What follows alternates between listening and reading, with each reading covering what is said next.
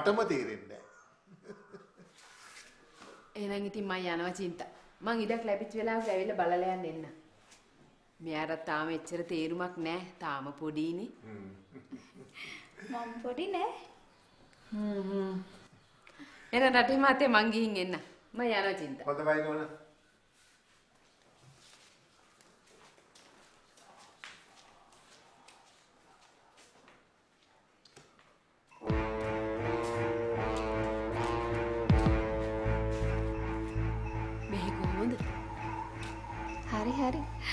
මං ඕනේ නැති අය සේරම වෙලාවට එළියට දානවා.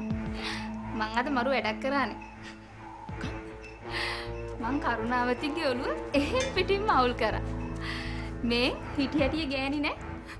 මෙලහකටත් කොහෙ ගිනි අරන්ද දන්නේ. ෂා. නියමයි. මං හිතුවට වඩා ගෑණි දියුණුවේ නේද? හොඳයි හොඳයි ඔහොම හොඳයි. ටිකටම ඔහොමම කරගෙන යනවා. ඊ මං ගිහින් එන්න.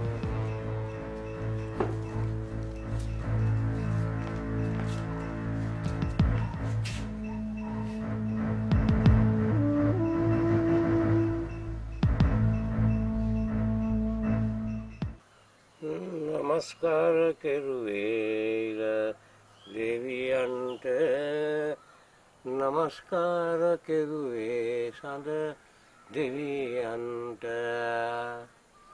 නමස්කාර කෙරුවේ ගන දෙවියන්ට.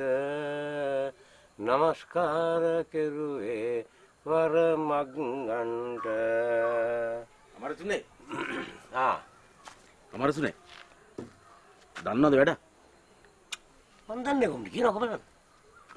අන්න අරේ ගම ගිනි අරගෙන කරුණාවතී ගුරුනාන්සේගේ පවුලයි කෙහෙවලු පටලවාගෙන නෑ.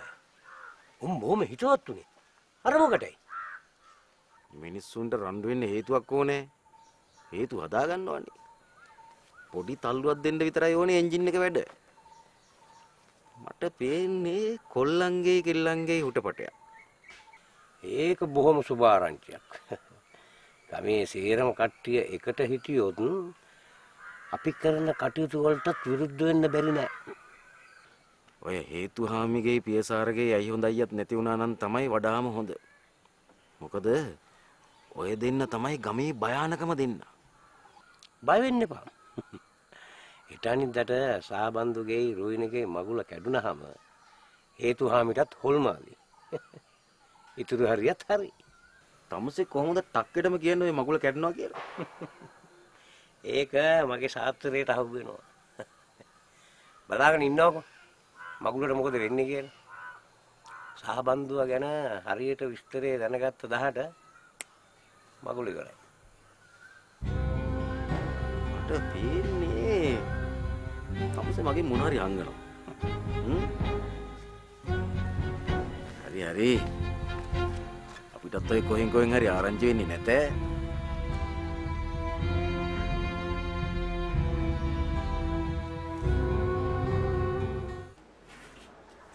කරුණාවති කලබල වුණා වැඩි. මං කොච්චරනම් ඉවසන්නද නෝනා? ඔය ගෑණි තැන් තැන් වල එක එක පද කියලා තියෙනවනේ. ඒවනම් වැරදි තමයි. ඒ වුණාට කරුණාවතිට තිබ්බ ඔව හෙමීට කතා බහ කරලා විසඳ ගන්න. දැන් ඉතින් මුළු ගමම දන්නවනේ. ඒක එච්චර හොඳ නෑ. ඇයි අරුන්දති? මොකක් හරි ප්‍රශ්නයක්ද? නෑ මුකුත් නෑ.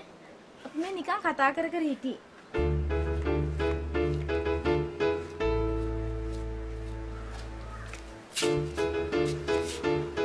ඇයි කරුණාවති?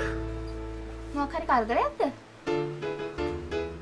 අර ගුරුනාසිගේ පවුල යස ආවනේ මාත් එක්ක පැටලෙන්න. මාත් ඇරියේ නෑ. මං කියලා දුන්නා. උන්දලාට උන්දලා කවුද කියලා. කරුණාවති ළමනේ ඔය මිනිස්සු ඕනටට කටහඬ තියෙන්නේ. අනිත් එක ඔය මිනිස්සු ඔය හැටි තැනක් දෙන්න ඕනේ ඈ. හොඳ වැඩේ එහෙම කතා කරපුවා. කරුණාවති වෙන්න එපා. ඕන දෙයකට අපි ඉන්නවනේ. මං ඒක නොදන්නවේ. ඒ වුණාට මං ඕකුන්ට බය නෑ නෝනා.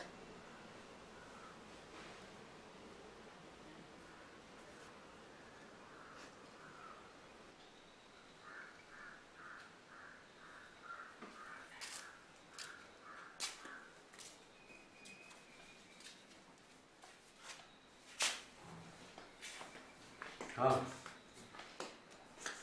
Siamo. Dammi la Karunawathi යසයි කේවල පටලෝ. යාකෝ දෙන්න හොඳම යාළුවෝ දෙන්නනේ. ඒවා කම්බුතුයි. දැන් දෙන්නම් මූණ බලන්නේ. ඒක හොඳයි ලුයිස්.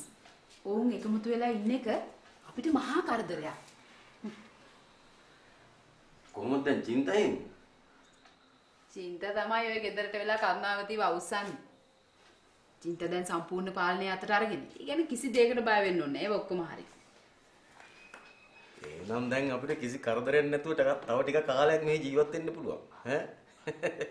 දැන් එතකොට රටේ මහත්තයාගේ කාලේ ඉවරයි. දැන් රටේ නෝනගේ කාලේ. ලුයිස් අපිට තාම එහෙම හිතන්න බෑ. මොකද අපිට අරුන්දතිව එක දශමයක් තාම එහාට මෙහාට කරන්න බැරි වුණානේ. ඔය විදිහට හිතන්නේ දහසෙන් බෑ ලුයිස්.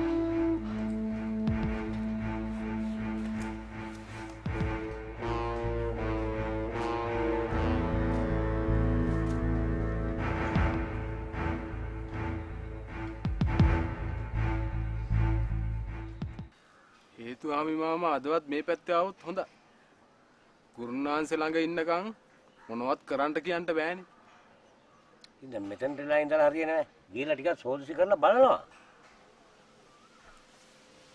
ආ අර එන්නේ.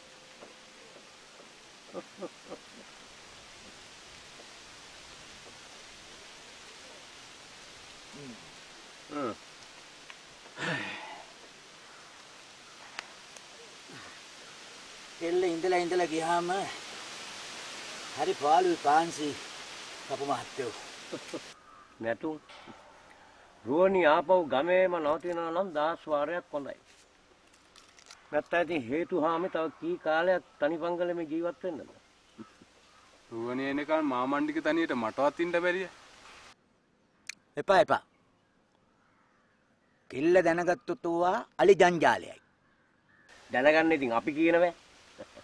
කෙල්ලත් නැති එකේ දෙන්නත් එක්ක ඔය කිතුල් මලක් එහෙම පෑගුවාට මක් වෙනවද? එහෙනම් එහෙනම් එහෙනම් ඔන්න ඔය යමන්කෝ. වෙන්නේ. හොඳයි.